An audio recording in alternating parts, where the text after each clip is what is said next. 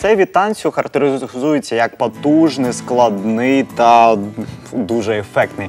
Про ломаний танець та брейкданс у простонароді поговоримо сьогодні з Сьогодні поговоримо з нашим експертом Стасом Шуляєвим, більш відомий за ніком Містер Хост. Е, Він у нас викладач із брейк-дансу і танцівник.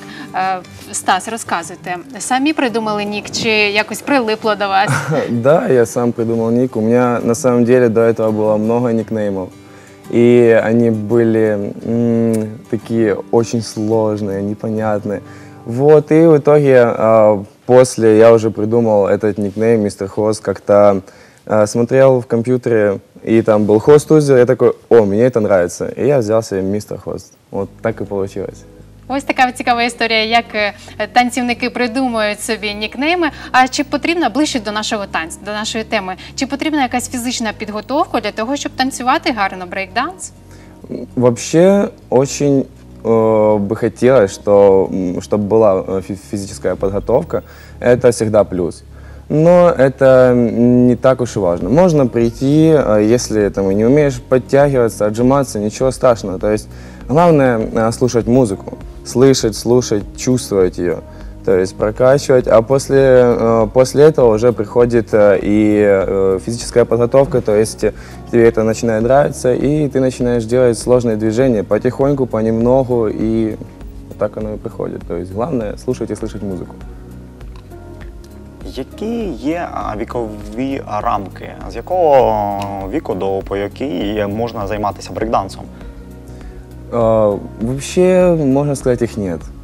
То есть чем раньше, тем лучше. І до 90 років. Да, Ну, мабуть, дитині складно буде нижній брейкданс виконувати. Е, да. Це розпочинається з якихось таких рухів е, нативних, так би мовити. Да, да, им- им- именно так. То есть сначала а, движение вверху, то есть э, какие-то а, кочевые движения, Ми з после Юлею этого... зараз будемо да, повторювати за вами.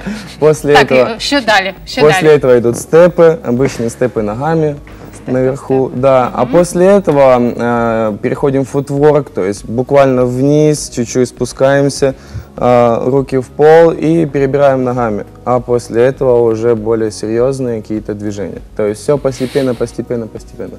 Ну ось ви як тренер, е, з якого віку порадите ви приводити дитину на брейкданс і не хвилюватися за те, що вона там сильно травмується?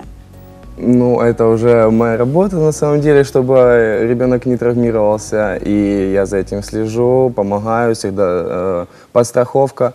А так э, с 4-5 лет, 4-5 отличный возраст. То есть, понятное дело, что понимание движений и усваивание будет чуть хуже, но зато чем раньше, тем лучше. То есть он быстрее научится там Через годик, через два он будет знать базовые движения и может приступать к серьезным, сложным движениям. Это круто. Чем раньше, тем лучше. Ну, ви знаєте, за досвідом я знаю, що не кожен танцівник може стати тренером. Як ви прийшли до тренування? А, на самом деле нужно э, сначала стать танцором.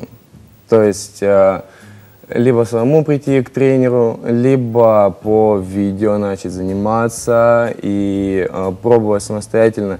Должен быть какой-то опыт. А, э, ты к этому приходишь постепенно, когда ты уже знаешь определенную базу, знаешь, как она делается. То есть э, должен быть какой-то опыт. А после этого э, мне, можно сказать, я даже эм, не собирался становиться э, преподавателем. Вот, мне предложили, я попробовал, и у меня получилось. Вот, и это очень круто. То есть э, сам того не зная, я стал преподавателем. Знайшли свою стихію. Да, так да, би да. У мовити. меня м, начало получаться, э, нашел подход к каждому ребенку. То есть это постепенно, постепенно приходит. А ось таке запитання: чи можна передати власний стиль? Ну, звіс- звісно, техніку можна там навчити вправам, рухам, але чи можна передати власний стиль? Да, да. Я думаю, э, то, что от каждого э, преподавателя идет какой- какой-то вот свой стиль. Э, Либо там кто-то э, из танцоров, например, дальше ставит ноги, кто-то ближе ставит ноги. И, понятное дело, детям это передается. Не полностью, не полностью весь стиль, но какие-то элементы это з- заметно. Можно сказать, а, он занимался у того преподавателя или у того. Есть такое, да. Передается немного. А за родом своєї діяльності, куди а, доводилося їздити на змагання? Вообще изначально мы с командой ну, ездили по Донецкой области, то есть ближайшие города. То есть это и Горловка, и Славянск, и Донецк. Потом мы поехали в Харьков всей командой. Это было очень круто. Это одно из э, первых моих таких серьезных э, соревнований. А, Брейкидзе, битва Харькова, а, Джем-мастер. э, Три э, таких соревнования в году, на которые мы ездили именно, вот готовились, ездили. У нас даже э, между командой там примерно по 6 человек должно быть в команде. Нас было там 11-12, и мы устраивали сначала соревнования у себя в, команде, а потом уже двумя составами ехали на соревнования. Также Киев. а, Ездили мы в Киев тоже. у- Ребята еще на- из нашей команды ездили в Полтаву. А, а так вот, п- примерно Харьков-Киев нам хватало, там много, много всего, то есть много фестивалей, на которые мы готовились, нам этого хватало вполне. Як називається команда ваша?